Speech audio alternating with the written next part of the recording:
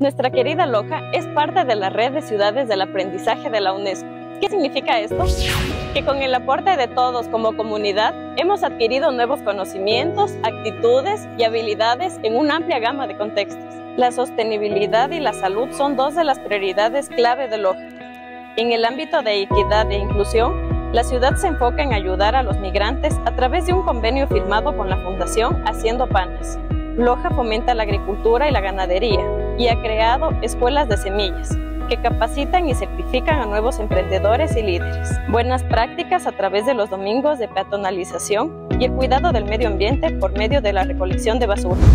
Los lojanos desempeñamos un papel crucial y estamos mejor equipados para adaptarnos a los cambios de nuestro entorno. Loja hacia una ciudad sostenible.